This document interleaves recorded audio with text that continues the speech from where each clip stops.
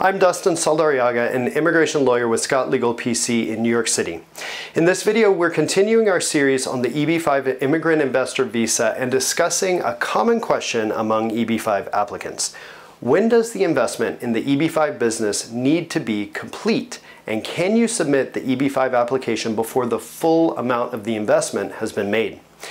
At the heart of this question is a new EB-5 law that was passed in 2022, which fundamentally changed a number of requirements for the EB-5 visa, including when the investment needs to be made. Before we dive in, please take a moment to subscribe. We'll keep you updated on our firm's most current and trustworthy information about U.S. immigration, including options to visit, work, or live in the United States. The EB-5 Immigrant Investor Visa currently requires an investment amount of either $800,000 or $1,050,000 into the EB-5 business. Given the large required investment, it's no surprise that EB-5 applicants want to know whether they need to invest the full amount before the EB-5 application is submitted, or if they can spread the investment out over time. Now, the answer to this question depends on when you filed your EB-5 application. By that, I mean the form I-526. If you filed your application on or after March 15th, 2022, your options for spreading your EB5 investment out over time are extremely limited since the new law, among other things, prohibited the use of debt arrangements, such as promissory notes, between the applicant and the EB5 business. If you filed before March 15th, 2022, the government allowed you to use certain debt arrangements, like a promissory note, which would allow the investment to happen over time. Why March 15th, 2022?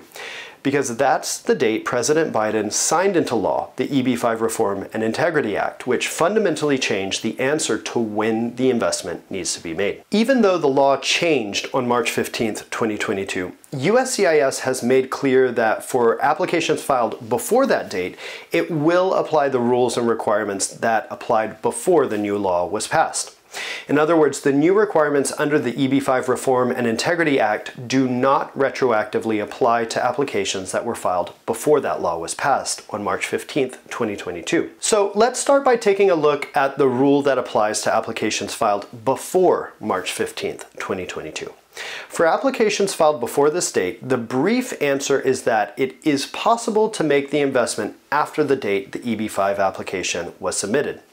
To quote the regulations that apply to applications filed before March 2022, the EB5 applicant can be actively in the process of investing at the time the application is submitted. Now, there were a number of things you had to keep in mind if you intended to make the full investment amount after filing the EB5 application before March of 2022.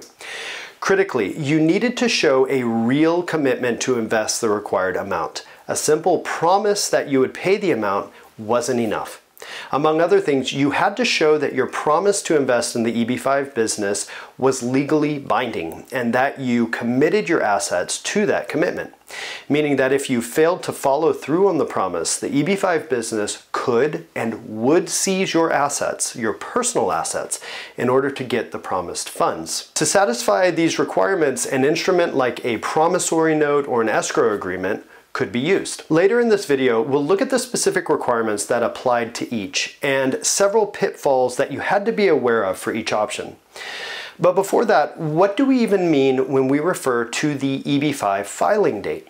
An EB5 application has several steps. The first step in an EB5 application is to file the Form I-526, called the Immigrant Petition by a Standalone Investor. The Form I-526 starts the process, and it includes details about the applicant, the EB5 project, the investment, and other details.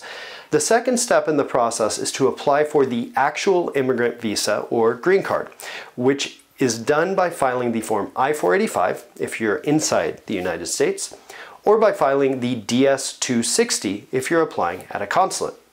Once that's approved, you receive conditional lawful permanent resident status. That's conditional lawful permanent resident status, not permanent permanent resident status. After two years of conditional LPR status, you would submit an I-829 application to remove the conditions on your status, which, once approved, would grant you unconditional permanent resident status. If this sounds like a long process, it's because it is.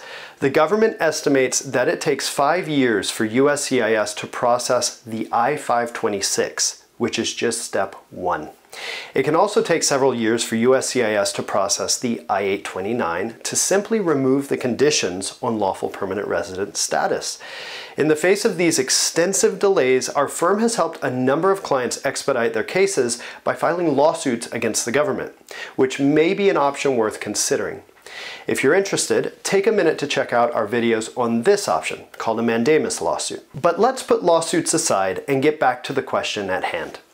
In that long EB5 process, before March of 2022, when did the investment need to be made? If the applicant was using an escrow agreement, the funds needed to be immediately and irrevocably released once the applicant was granted conditional resident status. It's critical to understand that the escrow agreement could only be contingent on the applicant entering the U.S. as a conditional permanent resident or being granted an adjustment of status, both of which would occur after the I-526 was approved. If there were any other contingencies in the escrow agreement, the funds in escrow would not be considered toward the required investment amount. There were several other requirements that the applicant needed to follow if they used an escrow agreement. At the time the I-526 was filed, the applicant needed to provide the fully executed escrow agreements.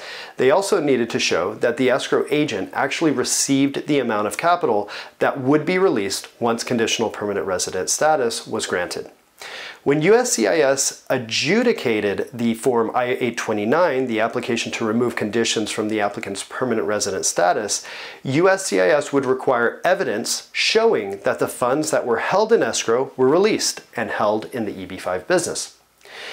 Now, can the escrow account be held abroad? Again, we're talking about applications filed before March 15th, 2022. Funds can be held abroad in escrow, but it's generally recommended that the escrowed funds be held in the United States in order to avoid fluctuations in currency. Those fluctuations could bring the amount held in escrow below the required investment amount. So that's the escrow agreement. Let's now turn to a promissory note. Again, Promissory notes are only allowed if the EB5 application was filed before March 15, 2022. If the applicant made a binding promise to commit funds to the business through a promissory note, the government requires that the full amount of the required investment needs to be made before the two-year conditional residency period ends. Don't assume that USCIS takes into account the extensive delays in processing these applications though. USCIS has suggested that the promissory note must be payable no later than two years from the date the I-526 is submitted. As with the escrow agreement, there are a number of requirements that would apply to anyone who used a promissory note before March 15, 2022. In the initial application, the applicant needed to show that they personally had a legitimate, legally binding obligation requiring them to pay the amount promised. They needed to have primary responsibility to pay the note. The applicant also had to submit evidence proving that they have the ability to pay the business the amount promised and that their assets adequately secured the promissory note. The assets that secured the promissory note must be owned by the applicant and cannot include assets of the EB5 business. The applicant must prove that the security interest was perfected and that the assets could actually be seized by the business. Also, the applicant needed to understand that the government will only count the value of indebtedness to the business up to the fair market value of the applicant's assets that secured the debt. In other words, if the applicant promised to transfer a million dollars to the business, but the assets that secured that debt only had a fair market value of $500,000, the government would only consider the value of the debt to be $500,000. Now, even if you submitted your EB5 application before March 15th, 2022, Extending your investment over time through the use of a promissory note or other debt arrangement has always been risky. To better understand the risks and pitfalls of using a promissory note, two cases are especially informative, matter of Hsiung and matter of Izummi. We'll link to both cases below. In matter of Hsiung, an EB5 applicant promised to pay the EB5 business $500,000, which was the required investment amount at the time. But the applicant did not want to pay this amount all at once. Instead, he planned to pay the business $50,000 initially, then to pay $50,000 after the EB5 visa was approved, $200,000 one year after he entered the United States on the EB5 visa, and a final $200,000 before the application to remove the conditions on his permanent resident status was approved. Unfortunately, Hsiung's application ran into a number of problems. First, the government found that he didn't specify what assets secured the promissory note. He also didn't prove that he actually owned the assets. The government also took issue with the fact that the assets were located outside the United States. The government wasn't convinced that the EB5 business would be able to seize the assets held abroad if the applicant failed to pay the promissory note. Even if the business could seize the assets, the government said that this would be expensive to do so the full value of the assets should not be counted. Finally, the government raised a concern that should give anyone who considered a promissory note even more pause. They said that the value of a promissory note depends on its present value. Since a dollar received tomorrow is worth less than a dollar received today, the value of a promissory note, which is paid in the future, must be discounted. By how much? The decision doesn't say. Instead, it said that Hsiung had not provided sufficient evidence of the present value of his promissory note. The applicant in matter of Izummi faced similar scrutiny on his promissory note. In spite of this, the decision in matter of Izummi, like in matter of Hsiung, did acknowledge that at the time, a promissory note could count as capital toward the EB5 investment, if the issues highlighted in these cases are addressed. Again, this only applies to EB5 applications filed before March 15th, 2022. So what about EB5 applications filed on or after March 15th, 2022? The EB5 Reform and Integrity Act that was signed into law on March 15, 2022 fundamentally changed when the EB5 investment must be completed.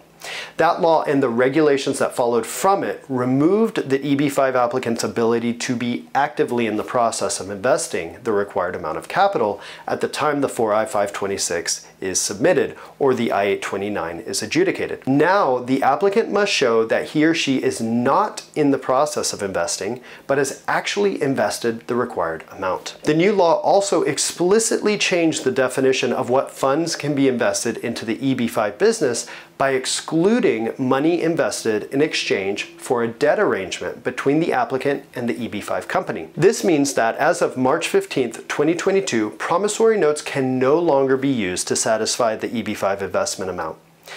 Escrow agreements are still permitted under the new law, and the requirements for the escrow agreement would still apply.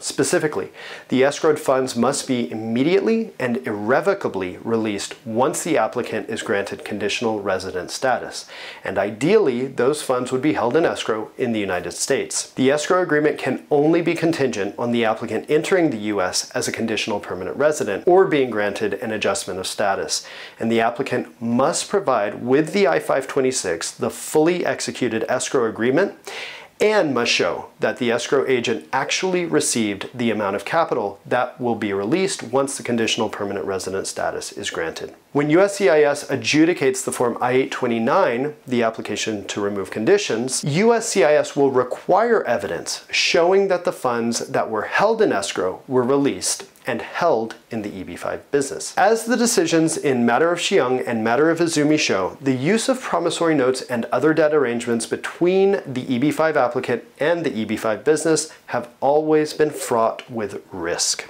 In light of the EB5 Reform and Integrity Act passed in 2022, the government has now made it explicit that such debt arrangements will no longer be accepted for applications submitted on or after March 15, 2022. For applications filed before March 15, 2022, it's best to reduce to the extent possible any doubt that the government might have as to whether the applicant's investment will actually lead to the creation of jobs, which is a fundamental requirement of the EB5 program.